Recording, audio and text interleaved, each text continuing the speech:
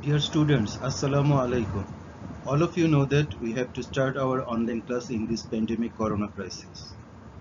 But some of you complained that you could not continue my full class due to internet problem.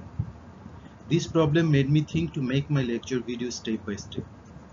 Hope this video will help you to understand my lecture and will also help other persons who are interested on this topic. In this video, we will discuss about a name reaction that is Oppenauer oxidation. Name reactions are usually named after the chemist who discovered the reaction. The name reaction Oppenauer oxidation is named after the Austrian chemist Rupert Victor Oppenauer. This reaction is a gentle method for selectively oxidizing secondary alcohols to ketones. This reaction is the opposite of another name reaction that is Meerwein-Ponndorf-Verley reduction. In this reaction, alcohol is oxidized with aluminum tertiary butoxide in excess acetone. In every name reaction, I try to discuss about the theory, mechanism of the reaction, applications and limitations of the reaction. I already discussed about the theory in brief in the previous slide.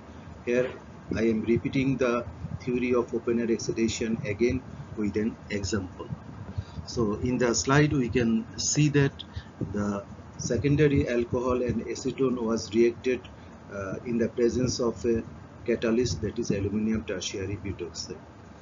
The reaction mixture was refluxed for several hours and after completion of the reaction the secondary alcohol will be converted to its corresponding ketone and the acetone will be converted to the secondary alcohol that is which is corresponding to acetone and the particularly the alcohol is isopropyl alcohol.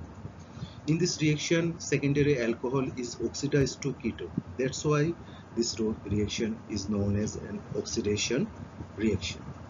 So in this reaction aluminum tertiary butoxide used as a catalyst and after completion of the reaction uh, the catalyst remain as same as before so after uh, theory, we want to discuss about the mechanism of this reaction. We can see in the slide, in the first step, aluminum tertiary butoxide was ionized to aluminum and uh, another uh, butoxide anion. Because the oxygen is highly electronegative compared to aluminum.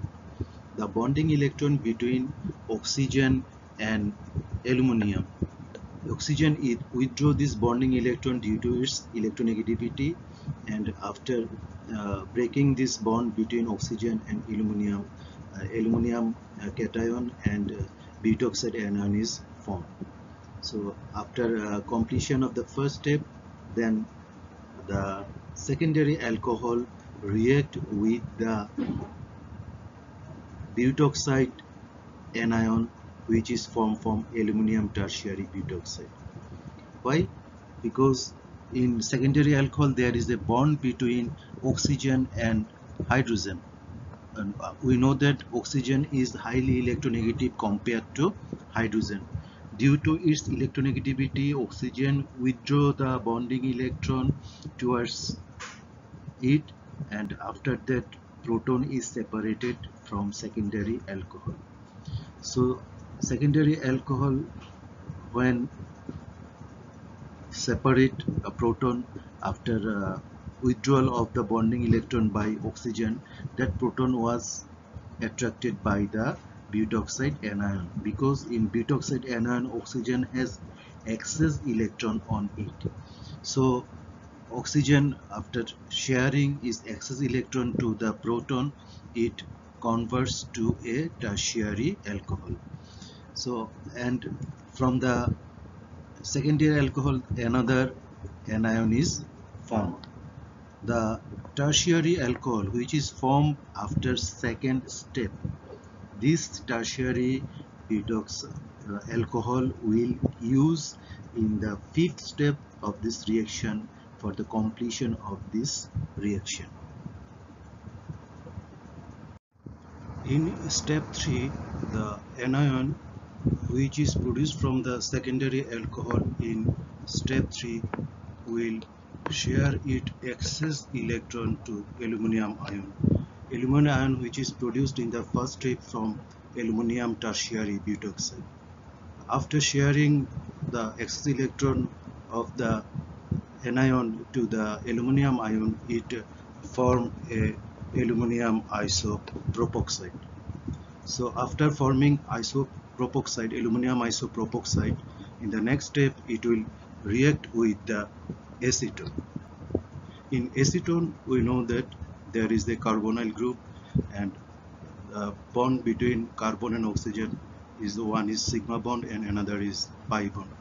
Oxygen due to its electronegativity withdraw the pi electron and it becomes negative and the carbon become positive. So after that the aluminum isopropoxide which is uh, formed in step 3 the oxygen of aluminum isopropoxide will withdraw the bonding electron between oxygen and aluminum. So because the oxygen is highly electronegative compared to aluminum so after withdrawing this bonding electron oxygen become negative and aluminum become positive so when oxygen become negative it uh, tries to share its electron to the adjacent carbon. But that adjacent carbon is bonded to hydrogen.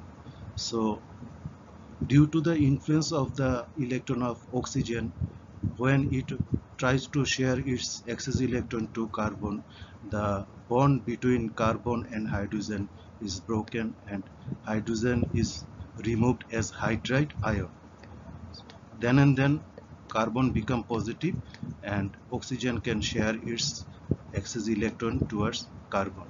So this compound becomes a ketone. And the hydride ion which is separate from aluminum isopropoxide share its excess electron the positive carbon of acetone. So after that uh, this ketone is formed aluminum ion is formed and uh, there is a anion which is uh, produced uh, from the acetone.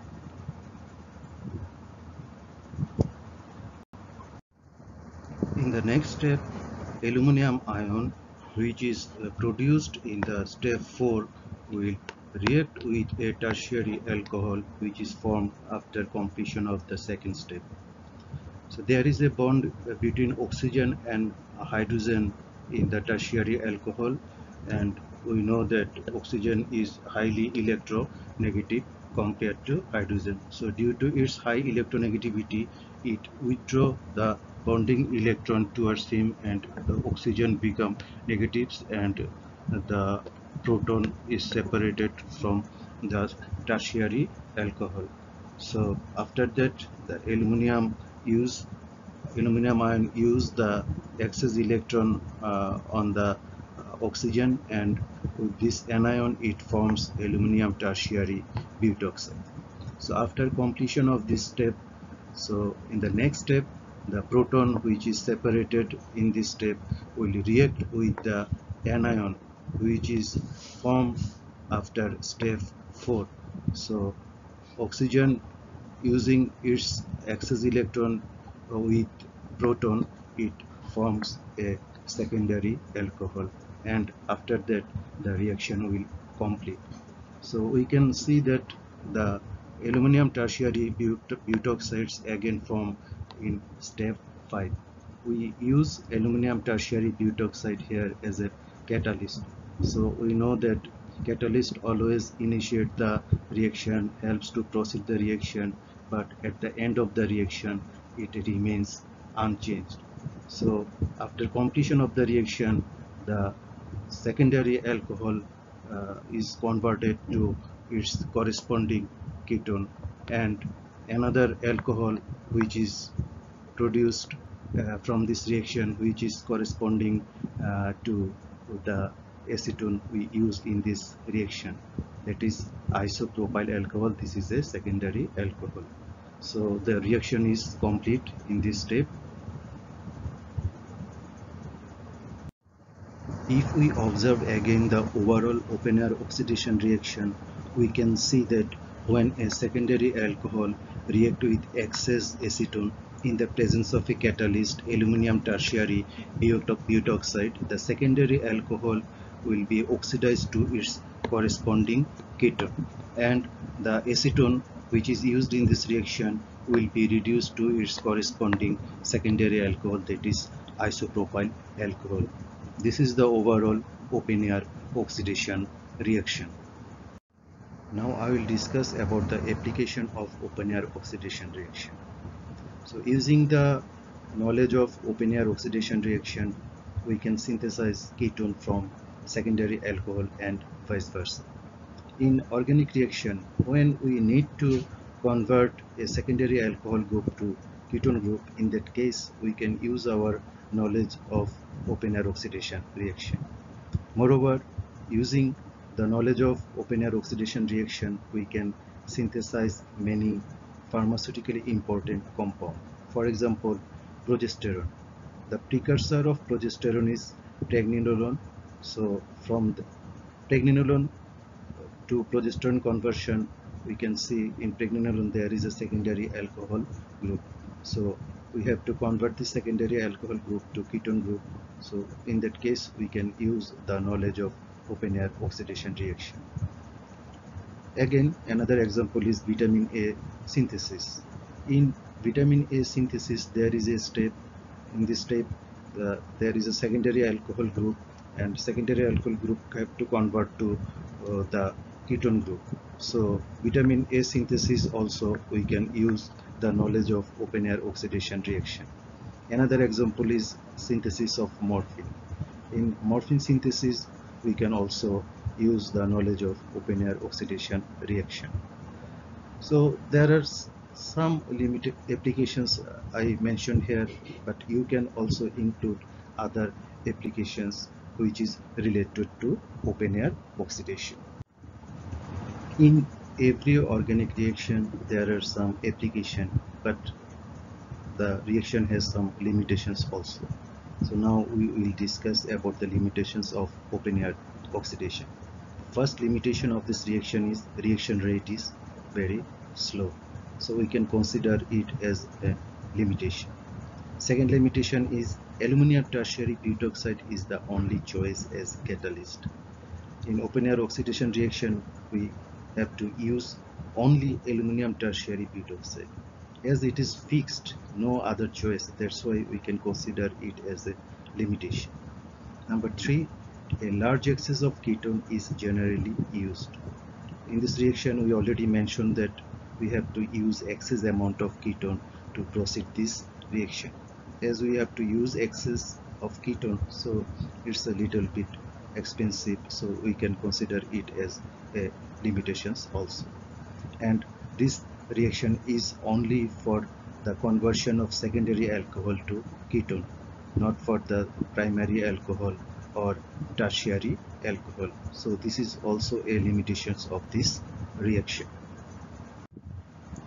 I already discussed about the theory mechanism of the reaction application and limitations of Oppenauer oxidation reaction that's all for this name reaction Oppenauer oxidation. If you like my lecture video, then don't forget to click the like button. You can also share this video to your friends and can also put your comments. Lastly, don't forget to subscribe my channel. Your subscription will encourage me to make more lecture videos for you all. Thank you.